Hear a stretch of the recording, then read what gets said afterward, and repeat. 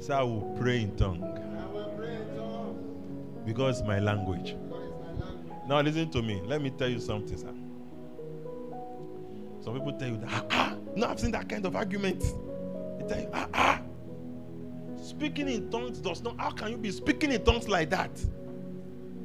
Just that they just that they're speaking in tongues. Ah ah, it's not done that way.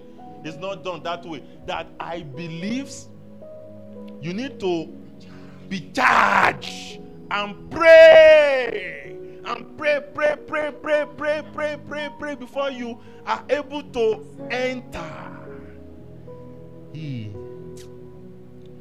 Indoctrination is not good. That is indoctrination. Dogmatism is not good.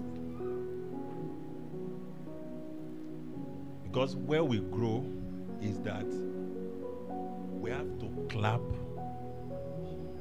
and shake before before anybody can speak. Are you alive? We have to do what, sir?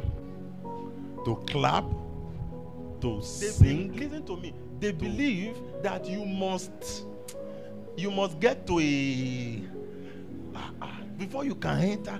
Eh, eh, Oga, the Igbo language you are speaking.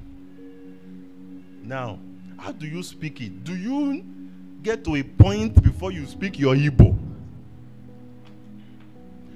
You speak it. You, if you like, you can be using it to talk. I mean, to normal.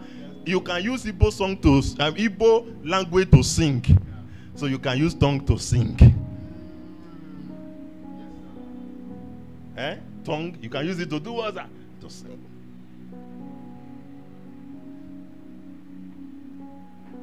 And you are talking normally, I can be using tongue to teach you, but won't benefit you. So Bible does not permit me to use it. Even I have the liberty to use it. But if I use it, I must explain it. Or somebody must interpret it. And so how can you say, how can you say, oh yeah, let's speak in tongues? And people start to libra kusha, but "Iranongpa, Iranongpa." such people will never speak it. Because what you attack, you can attract.